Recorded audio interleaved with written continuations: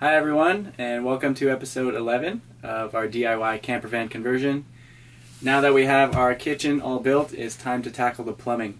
So we're going to be installing the sink, we're going to be installing the faucet, uh, the water pump, the freshwater tanks, the gray water tanks, as well as all the plumbing and piping uh, between all those.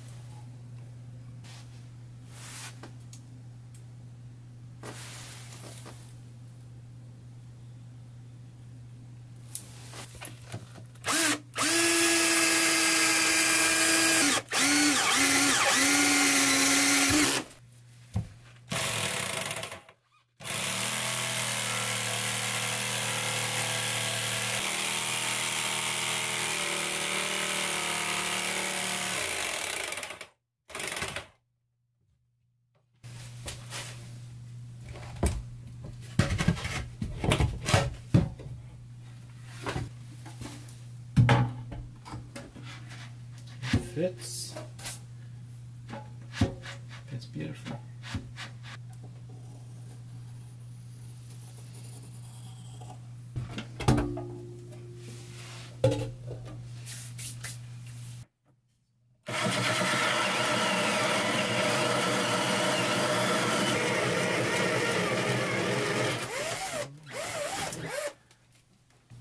I'll just double check, make sure it fits.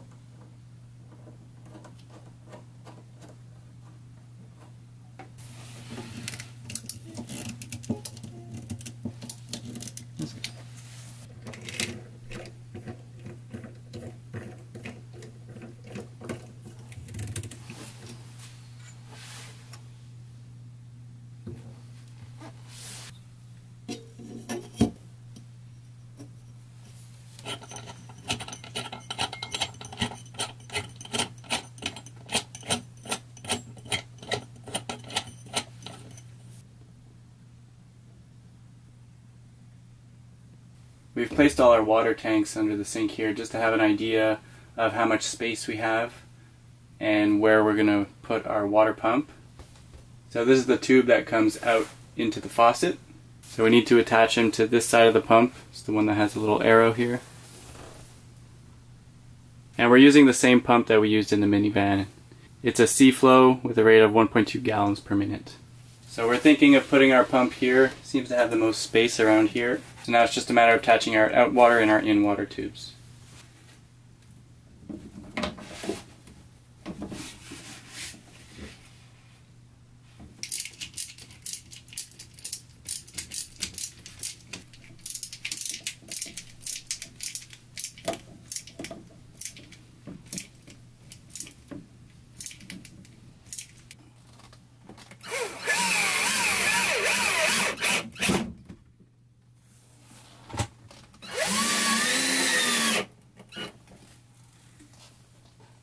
So the wires coming out of the pump, uh, we want to connect two things before we connect it directly to the battery. The first is going to be a kill switch, on off. In case you spring a leak, you don't want you know water to flood your van, so you just click that off and it will turn off the, the pump. The other thing is we connected a 10 amp fuse, and that's of course just to protect the pump from any surges of uh, electricity or anything like that. So we're just going to run a test on our whole system uh, using a little bit of water here uh, just to see if there are any uh, leaks and to see if uh, all the electrical works.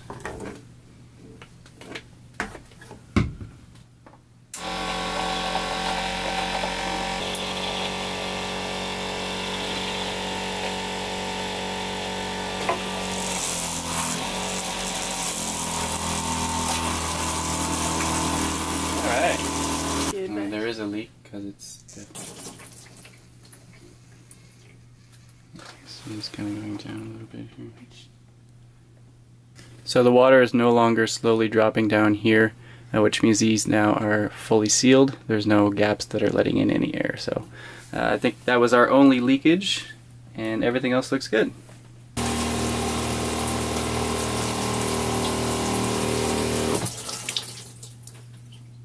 So this is the drainage tube that we plan to use under the sink. It's normally for like uh, pool tubes or something like that, but uh, we like the flexibility and it fits perfectly onto our drain. The only thing we have to do is add some sealant in here to make sure that uh, the water doesn't come back up, and then we'll attach it underneath our sink.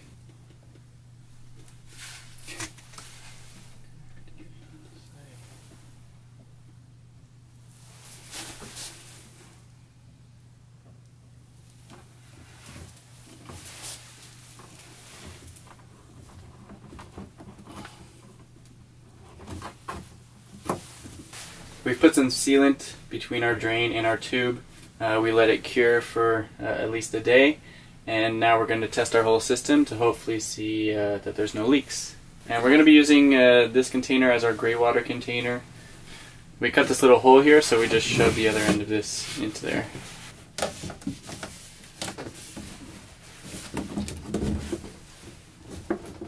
And now the loop that it makes uh, basically acts as a P-trap. So let's turn on our pump, uh, we'll run some water through the system and then uh, we'll see if there's any leaks.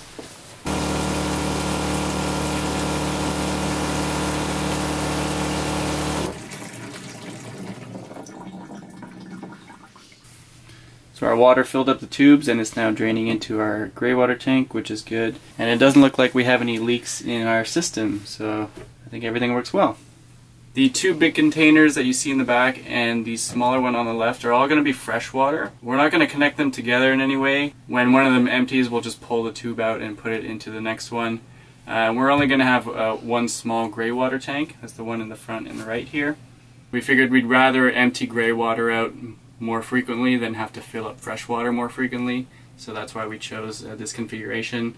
And then the last thing we'll probably do is just to add a, a strap somewhere just to strap them all uh, down and together so they don't shift around and wobble uh, when we're driving. But we won't be showing that in this episode. Thanks everyone for watching that episode. The plumbing was uh, pretty simple and straightforward. We already have experience doing it in, the, in our minivan, so it wasn't uh, too much of a challenge for us. So thanks again everyone for watching. Uh, take care and we'll see you next time.